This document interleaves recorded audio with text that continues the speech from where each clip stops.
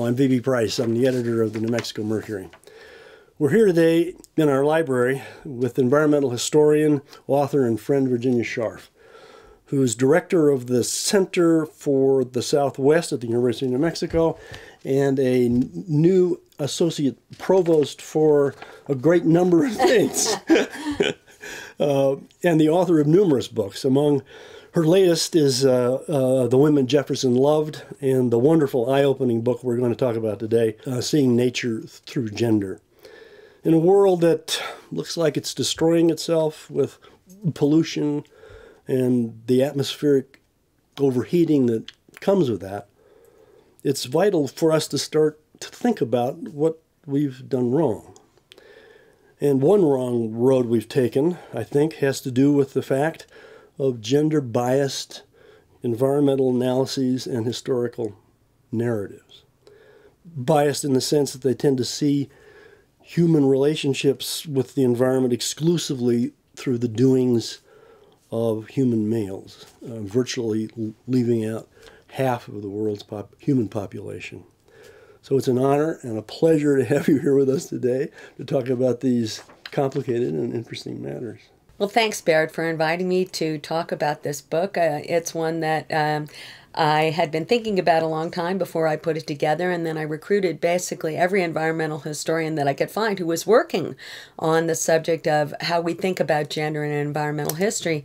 And I have to tell you, pretty much all of them are in there because this hasn't been, I think, a perspective that's been super influential in the field of environmental history, although thinking about gender analysis, about the ways in which we think of um, the ways in which we construct masculinity and femininity really shapes our thinking in ways we almost aren't aware of.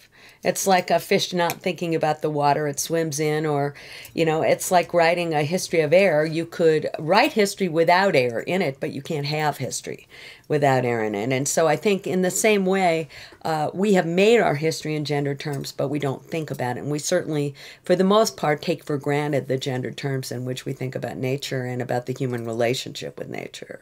So this is going to be a fascinating hour or so. The uh, uh, language, I think, could be said uh, in large part to determine perception, and by determining perception, uh, therefore determining behavior to a certain degree. Um, so when one uses the male generic, uh, which you might explain to us a little bit, uh, when speaking about the environment in particular, this has powerful implications in regards to our behavior toward the environment and in the environment. Could you talk a little bit about the use of man when referring to humanity? Well, I started thinking about the use of uh, the, the notion of man um, as a kind of shorthand for human beings. When I first started reading uh, feminist theory and reading about um, all the kinds of things that uh, people like Mary Wollstonecraft or Simone de Beauvoir or some of the more recent feminists had written about humans' relations with each other and also with other things. And among the problems with thinking about humanity as a man, uh, well, there are a couple of them. One is that it makes humanity singular. And human beings have a very, very wide variety of relationships um, to nature. I mean, we know that, for example, Americans use a hell of a lot more of what we have on the planet than people in many, many other uh, countries, particularly developing countries. So we are, you know, a, whatever, a tenth of the world's population use a third of its resources, or I'm not sure exactly what it is. And I think thinking in terms of man aggregates human beings in ways that maybe we need to disaggregate them. We need to think about the different ways. So the people who use a lot, or the people who have a heavy impact, or the people who are doing particular kinds of things that we think of as being either better or worse for the planet, um, we can hold them in particular accountable rather than just saying human beings are all bad, man is bad for the world. Um, another problem with it is that when you're talking about man, you never know whether using man generic or man specific. Right. So the idea that man um, stands for women or woman um, or man stands for everyone, I think um, masks a lot of the relationships that we've developed th- in very, very gender terms through nature. So uh, that's part of the problem. But I think the other thing that happens is that if we have a singular thing called man um, that interacts with this singular thing called nature, um, one thing that ends up happening because we always pair male and female when we think in gender terms, nature becomes a female nature becomes kind of passive. Nature becomes something that's always reacted upon. Yeah. And uh, man becomes this thing that has the potential to transform or exploit or use or protect or provi- provide for or preserve um, nature. And I'm not sure it's ever that simple. Um, and I don't really think nature should be subsumed into one thing either. I think uh, everything from cockroaches to hurricanes um, turns into this kind of girl in the idea of man and nature, and that really doesn't make a lot of sense to me either. So I think if we kind of go backstage behind those terms, we unpack a whole lot of complex stuff that's worth unpacking and then taking in very um, careful historical terms. I, being a historian, I always like to do that anyway. So I know that the that the answer to this question I'm going to ask is impossible to embrace. But when you leave out half half of humanity in discussing human relationships with the environment, what do you leave out? For example, I mean, are there a few? I mean, I mean, there must be some prominent examples in this ocean of things that, that are left out. Could you tell us a little bit? Sure, I'd be happy to talk about that. Um, I, I think to begin with, we we are only barely scratching the surface of what we haven't looked at because we've only been looking at half of humanity. Okay, so um, there are many things that we ignore when we ignore what women do or uh, how women act or the the ways in which we understand nature in gender terms. Uh, there are myriad kinds of ways of trying to ask the questions about what are we missing here. Yeah. I've looked at a few of them. So I would say the first thing that I would want to talk about is that we focus on big things, big processes. What happens when you build a dam? Uh, what happens when you build a bomb? What happens when you engineer a city? And so these kind of mega macro kinds of things become obvious uh, targets of inquiry for, for thinking about the history of human relations with things humans haven't made. And I think those are really important things. And I think it's possible to write very wonderful books about them or to think about, you know, I think it's important to think about dams and cities and bombs. That's, there's no doubt about that. But more often, our relationships with the things that we haven't made or built, with rela- with nature, with the flora and fauna and minerals around us, take place in much smaller scale interactions. They take place at the micro level, they take place at the intimate level, they maybe take place at the level of our bodies, right? So the act of having a baby right, is an intimate thing. Uh, what relationship do we have with nature when we reproduce ourselves as biological entities, and what kinds of dis- decisions go into that? Yeah. Uh, we really haven't thought about that except in terms of things like a population bomb, which turns a baby into something on the scale of a bomb. And I'm not sure that those decisions get made that way. Um, every time nations try to create population policies, they certainly have consequences, but most of the time, make, people make decisions about human reproduction, which is an extraordinarily important environmental act on an intimate scale and for reasons that have to do more with the level of a household, say, than they do with the level of a nation. Yeah. You and I, when we had our children, were not thinking about the future of the United States of America. I am willing to bet on that. I'm willing to bet that. Too. And another thing that, that we ha- don't really think about when we really focus on what men do is um, anything that happens behind the doors of a household right? Anything that happens uh, within the family, anything that, in the case of the modern United States of America right now, has to do with what we think of as being relations of consumption or the point of consumption. Mm. So we can write, Bill Cronon, for example, wrote a brilliant book called Nature's Metropolis, which is about the transformation of uh, the ways in which we use plants and animals as, as a consequence of the rise of the city of Chicago, the relation of the city with its hinterland, and so on. But so we see hogs and we see wheat and we see corn and we see all of these things coming into Chicago and being transformed by these incredibly complex um, na- um, nationwide um, transportation and production networks and the mechanization of agriculture and the new uses of land. But what happens once it gets to the household? What difference does it make that uh, the people inside that household happen to be women, and why are they not interesting environmental actors? And I, I guess I would say if there's no demand, then it doesn't matter what we're supplied.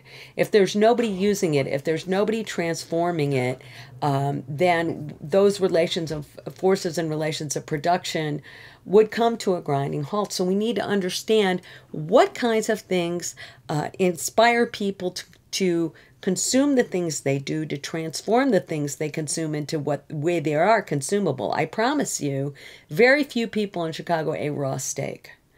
What happened? Why did they want fire in their household and or transformation of fire into electricity? Uh, why coal power dams? The, the demand end really matters.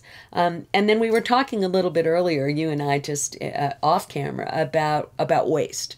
And I think looking at environmental history and looking at human relations with nature in terms exclusively of what men do tends to put a lot of the question about how we dispose of the products of what we do uh, off stage. Um, and that's certainly the case in the household. So when we think about, for example, that wonderful moment in that episode of Mad Men where the Draper family goes for a picnic and they and they're done with the picnic and they Don throws away his cigarette butt and then they pick up the um, the beer cans and all the the blanket with all the beer cans and the chicken legs and all that stuff on it, and just flap the blanket, and all the stuff flies onto the grass, and then they fold up the blanket and walk away. you know, this is a world in which you know, a very male centered view of what's important in the world leaves a lot off the blanket. It's just wonderful. it's wonderful. So it's it's like if if um, you know if if consumption and use and processing uh, are not looked at, it's like you know suddenly the ham comes to the front door and it goes bong and it bounces off. I mean, obviously something something happens to it in a very important way. So this this same this same sort of uh, uh, uh um, almost comic uh, um, uh, failure to see the full picture also invades all kinds of science as well as you bring out wonderfully in this great story of the of, of the zebra finch and and and how um, how when you look at them only through uh, the male generic you fail to see well half the story so, would you mind telling us that story? Oh, I would love to tell that story. so, for a really long time, I've been fascinated by the ways in which science absorbs the culture around it and is not the kind of objective, rationalist enterprise that scientists would like us to believe. I think science is a product of our culture, as is everything in the culture. And so I began to think about okay, well, how does the gendering up of the world, how does a focus on male activity or the activity of males of whatever species, um, and how does the fact this the kind of social fact that for a very long time almost everybody who called themselves a scientist was a man. You know, you wouldn't be, even if you did the same thing, um, you know, looked at birds, looked at plants, looked at whatever. For a very long time, our definition of what a scientist was was defined by um, also being male, male. right? You know so even people doing the exact same kind of thing it, he might be a scientist she might be a naturalist or or whatever so oh, there would yes. be another linguistic distinction that would would creep in there but yeah.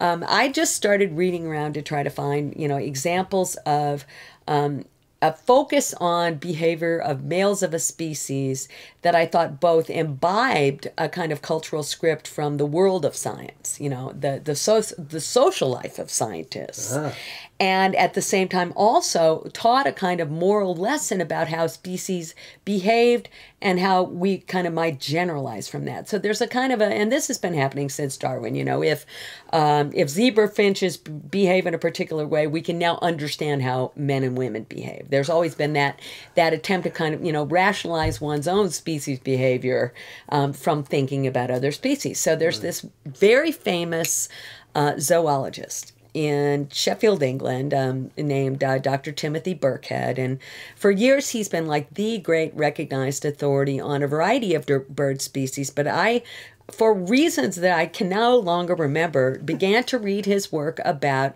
sperm morphology in zebra finches. And by this, I mean, you know, uh, how are male zebra finches getting their sperm around?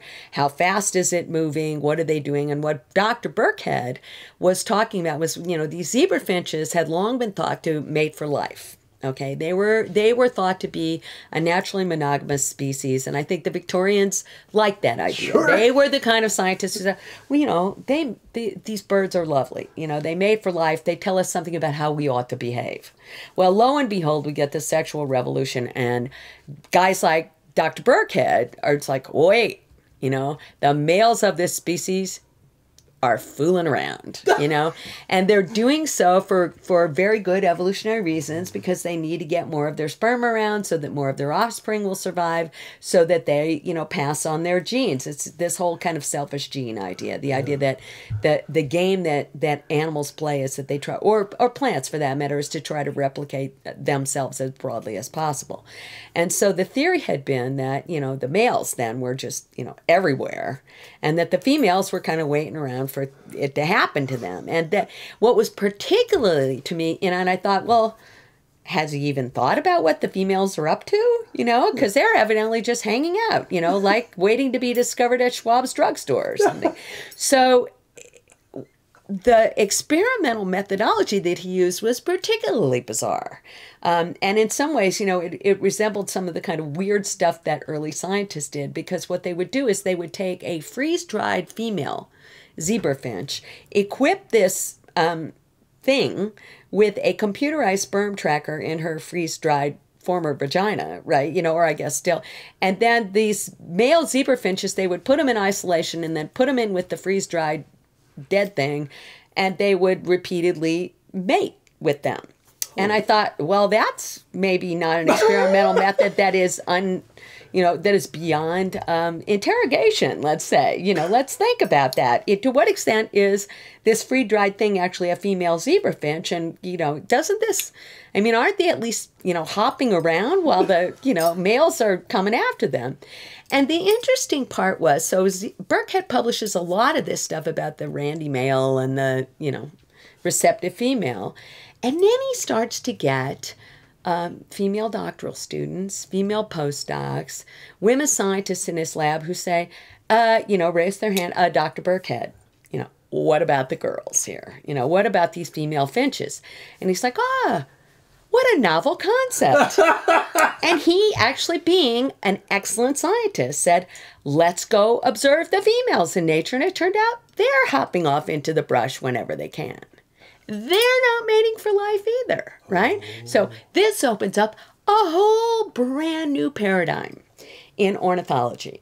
The idea, you know, so first we have the sexually liberated, you know, sort of playboy male, right? You know, and then we have, you know, the kind of woman about town, you know, um, of the women's liberation era.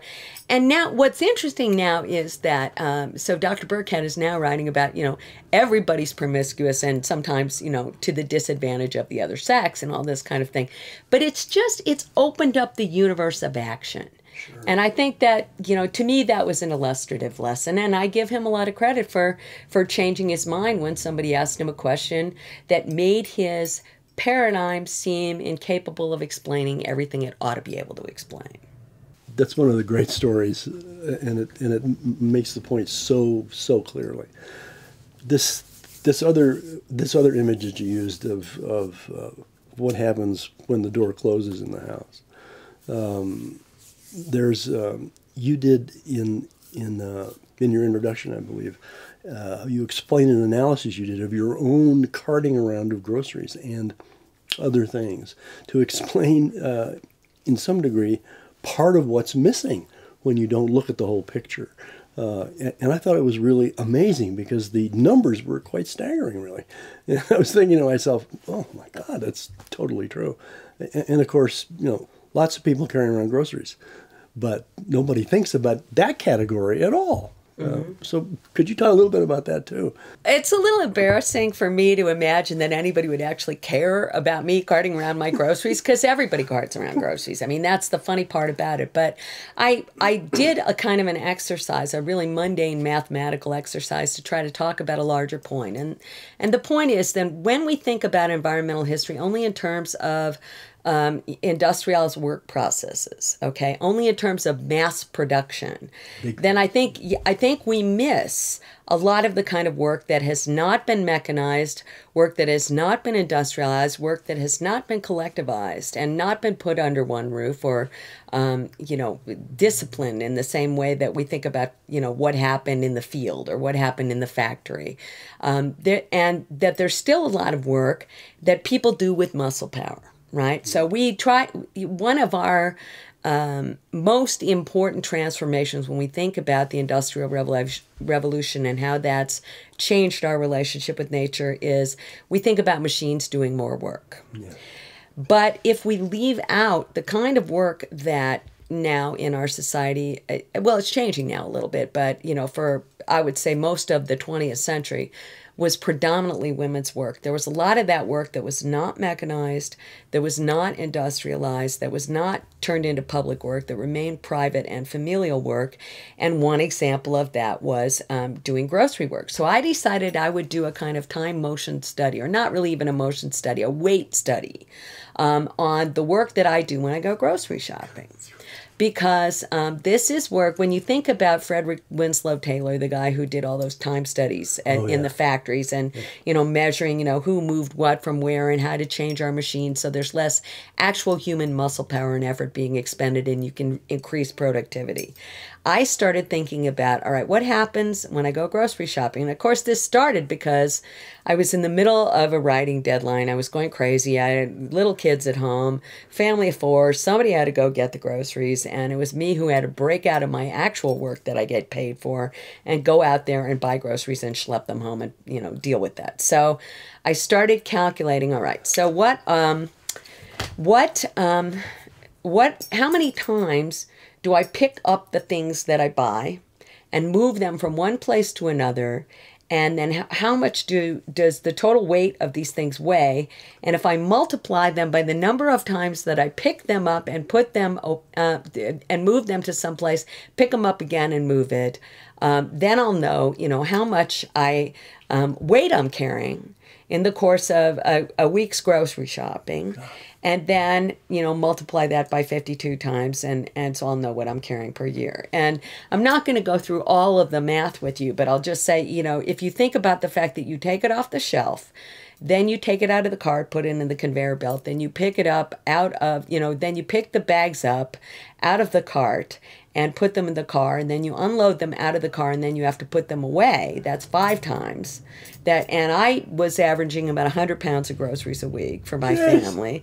So that's 500 pounds a week you know and then if you multiply that by 52 weeks a year i ended up with something like 12 and a half tons of grocery shopping. You know? Unpaid and, I, and yes unpaid you know hefting of stuff. And this without having actually gotten anything back out to make dinner, right? Oh my God. You know, so there's a whole extra set of processes that go into that.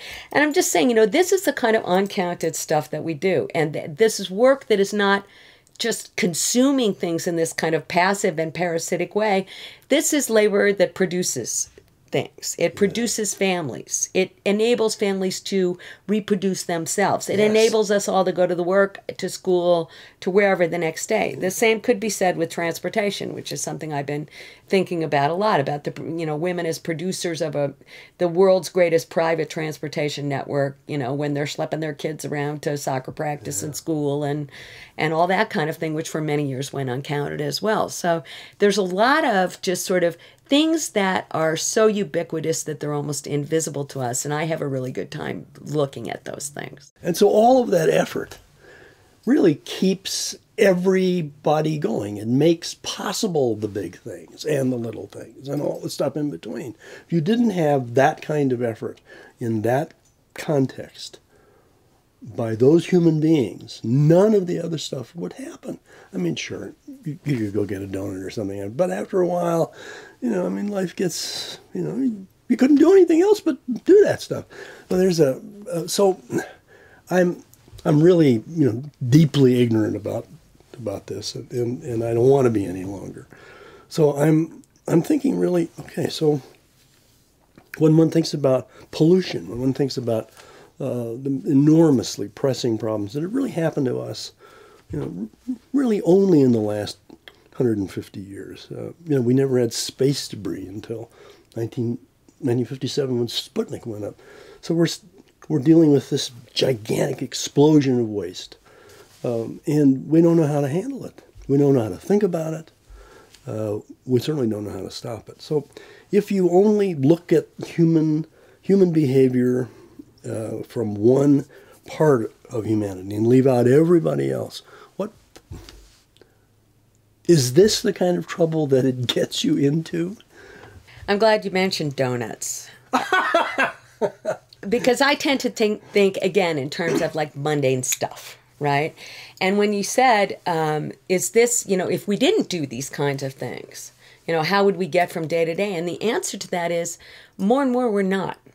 Okay. so right. More and more when we have multiple workers in any household, when we have people, I, I teach in a, a, an environmental history class and I also teach a class on the history of food, which I've gotten really, really interested in food in American his food in American history and landscape.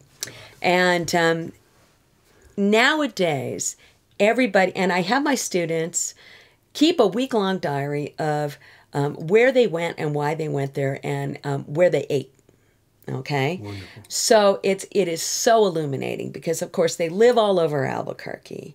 At some point they all have to get to the university but most of them have jobs.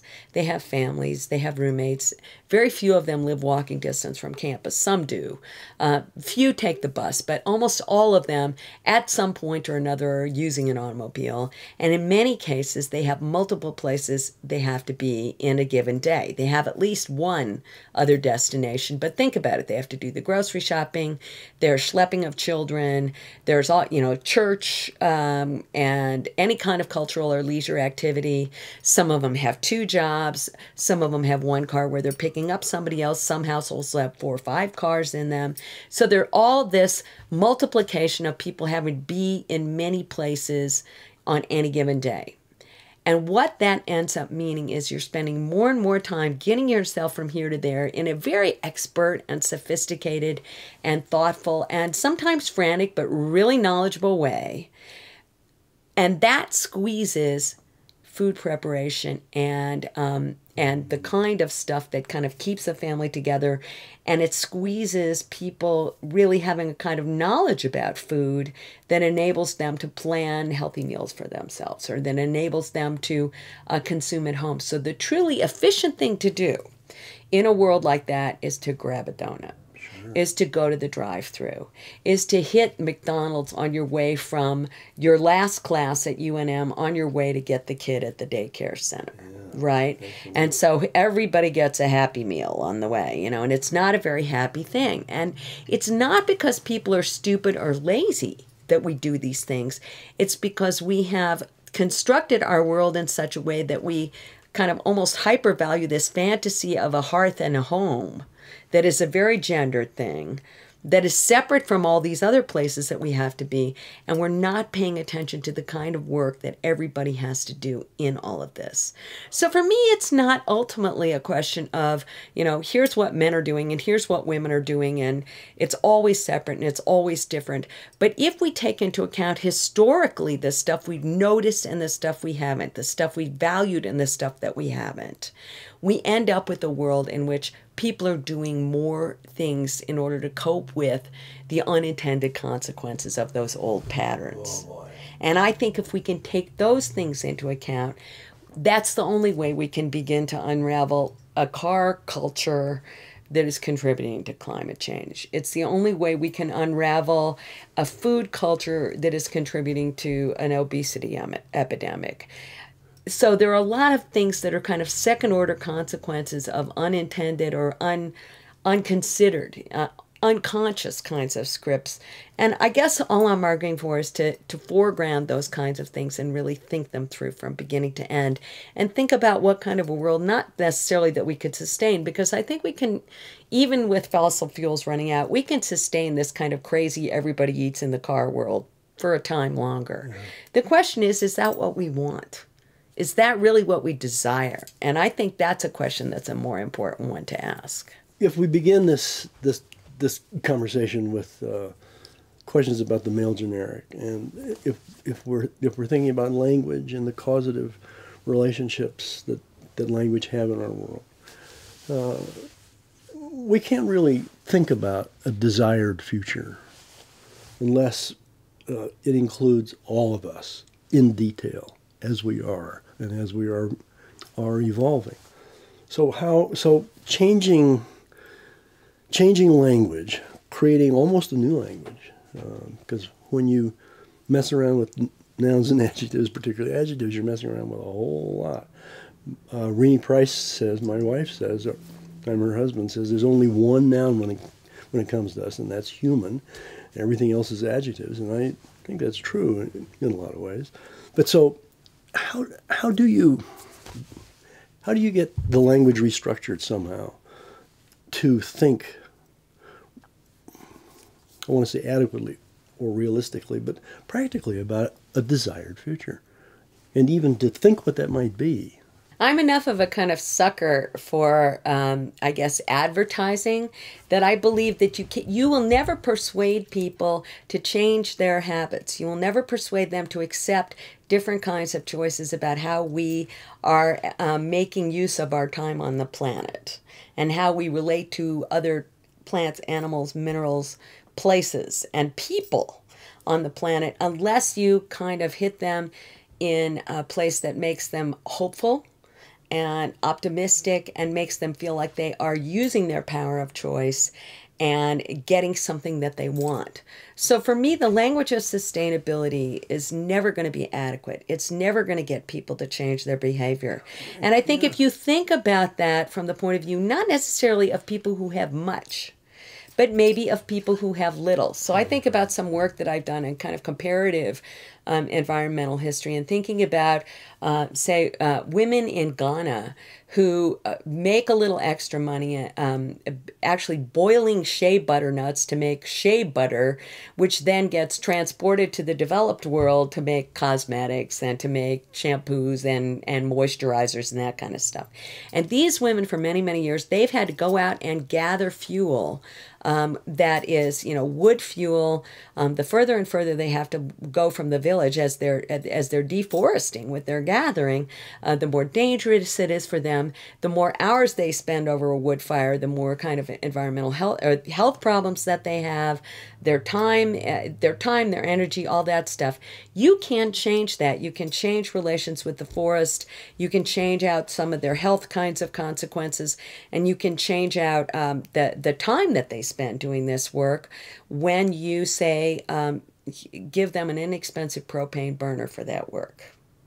I mean, that's something that turns out to be a choice that we might say, well, you know, this is a consumption of fossil fuels and that's a terrible thing.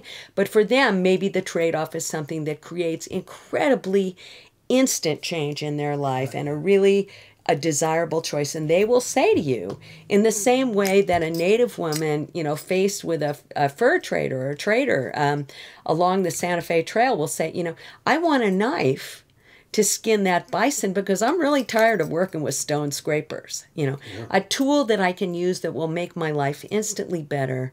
We have to show people tools that will make their lives instantly better that they will then desire. So for me, a tool might be, you know, this tomato's going to taste a whole lot better than that thing you got at McDonald's.